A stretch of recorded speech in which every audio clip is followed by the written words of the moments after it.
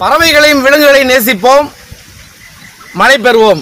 நீங்கள் பார்த்துக்கிட்டு இருக்கிற மக்கள் மருத்துவம் வலையெழுதிய காட்சி இயற்கை மருத்துவம் மற்றும் மாற்று மருத்துவ நிபுணர் மருத்துவர் இளந்தமிழன் இப்ராஹிம் பேசுகிறேன் என்னுடைய பழைய வீடியோ புதிய வீடியோ எழுதி பார்க்கணும்னா கீழே இருக்கிற பெல் பட்டன் பக்கத்தில் இருக்கிற சப்ஸ்கிரைப் பட்டன் அழுத்துங்க. முதல் முறையாக பார்க்குறவங்க ஃபேஸ்புக் வாட்ஸ்அப் மற்றவங்க ஷேர் பண்ணுங்கள் நம்முடைய மருத்துவம் கலை இலக்கியம் விவசாயம் இந்த மாதிரி விஷயங்கள் எல்லாருக்கும் சேர்க்கறதுக்காக செய்யப்படுறதுக்காச்சும் உங்கள் ஆதரவு தொடர்ச்சியாக கொடுங்க. இப்போ நம்ம பார்க்குற விஷயம் என்னென்னு பார்த்தீங்கன்னாக்க கோதுமை ஒரு நல்ல உணவா இல்லை கெட்ட உணவா அப்படின்னு முதல்ல ஒரு விஷயம் புரிஞ்சுக்கணும். எந்த உணவுமே இறைவன் கொடுத்த எந்த ஒரு உணவுமே நல்ல உணவா கெட்ட உணவா அப்படின்னு சொல்கிறதுக்கு அதிகாரம் மனிதர்களுக்கு கிடையாது. ஆனால் அதை அதில் வந்து சில அந்த சில அதை பிரித்து அதை எதாவது செய்கிறாங்க பாருங்கள் அங்கே தான் பிரச்சனை வருது. அதுக்கு நேரம் ஒதுக்கி கொடுக்குறாங்க பாருங்கள் அங்கே தான் பிரச்சனை வருது. அது என்னன்னு பார்ப்போம். உண்மையிலேயே கோதுமை ஒரு நல்ல ஒரு உணவு தான் நல்ல தானியம் தான் ஏன்னா நிறைய ஃபைபர் உணவு இருக்குது கோதுமை பற்றி நீங்கள் நெட்லலாம் போட்டு பாருங்கள் அதில் எவ்வளோ சத்துக்கள் இருக்குதுன்னு பார்த்தீங்கன்னா நம்ம எப்படி நம்ம அரிசியிலலாம் சொல்கிறோமோ அந்த மாதிரி அவ்வளோ சத்துக்கள் நிறைந்த ஒரு தானியம் அது கோதுமை. ஆனால் அந்த கோதுமையை பார்த்து சில நேரங்களில் நம்ம வந்து கொஞ்சம் கவனமாக தான் இருக்க வேண்டியிருக்கு. என்ன காரணம்னா கோதுமை கோதுமையாக இருக்க வரைக்கும் அது நல்ல பொருள். அதை மைதாவாக மாற்ற முயற்சி பண்ணும்போது ஏறக்குறைய பதினைந்துக்கு மேற்பட்ட மருந்துகள் அதில் பயன்படுத்துகிறாங்க ரசாயனங்கள் பயன்படுத்துகிறாங்க அப்போது ஒரு பதினஞ்சு கெமிக்கல்ஸை பயன்படுத்தி கோதுமையை வந்து மைதாவை மாற்றினாங்கன்னா அதில் கோதுமையுடைய சத்து இருக்குமா? இல்லை அந்த கெமிக்கலோட சத்து இருக்குமான்றதை நீங்கள் தான் முடிவு பண்ணணும். அறிவார்ந்த இந்த சமூகம் தான் அதை முடிவு பண்ணணும். அப்போ மைதானா என்ன? எதுக்கு முதல்ல கண்டுபிடிச்சான்னா வால் போஸ்ட் அடிக்கிறதுக்காக கண்டுபிடிச்சான்.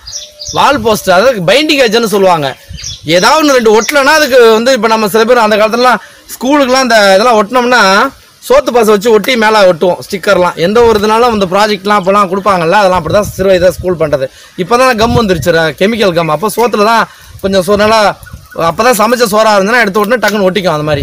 அந்த மாதிரி மைதா வந்து கம்மு ஒரு பைண்டிங் ஏஜென்ட்டுக்காக பயன்படுத்தினதை உணவாக மாற்றி விட்டான். இரண்டாவது உலகப்போர் ரெண்டாவது உலகப்போர் வந்தபோது உணவு பஞ்சம் வந்தது. உணவு பஞ்சம் வரல.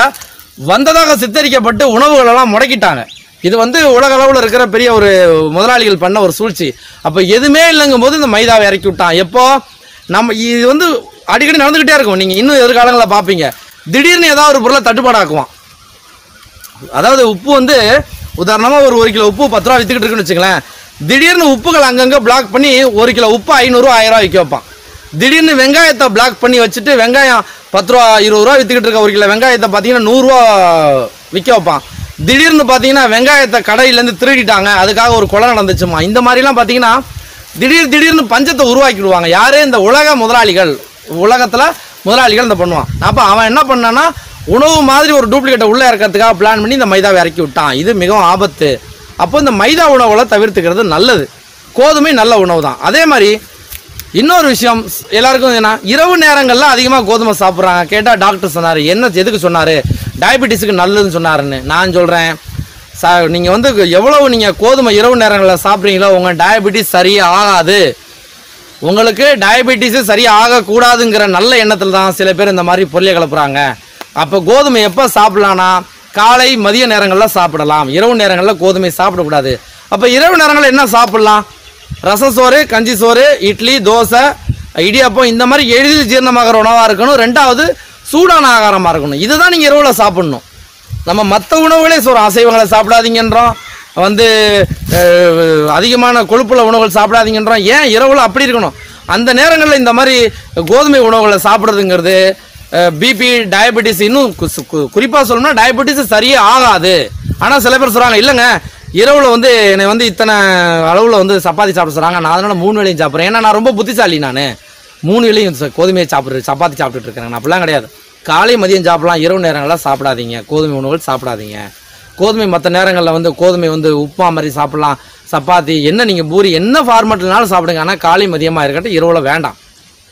மைதாவையும் அதேமாதிரி தவிர்த்துங்க. அதனால் கோதுமை நல்லதா கெட்டதான்லாம் நிறைய பேர் என்கிட்ட கேட்குற கேள்வி எல்லாத்துக்கும் ஒரே பதில் நல்ல உணவு தான் அதை நம்ம தப்பாக பயன்படுத்தும் போது தப்பாக ஆகிருது ஏன்னா உணவை வந்து அதை உணவாக மாற்றுறதும் சரி விஷமாக மாற்றுறதும் நம்ம கையில் இருக்குது அப்போ நம்ம அதை சரியாக பயன்படுத்தினா எல்லாமே சரியாக இருக்கும் அதற்கான ஒரு காணொளி தான் இது. என்னோட வீடியோ உங்களுக்கு கண்டிப்பாக பிடிச்சிருக்கும் நம்புறேன். கீழே இருக்கிற பெல் பட்டன் பக்கத்தில் இருக்கிற சப்ஸ்கிரைப் பட்டன் முதல் முறையாக பார்க்குறோம். அழுதுங்க ஃபேஸ்புக் வாட்ஸ்அப்பில் மற்றவங்களுக்கு ஷேர் பண்ணுங்கள்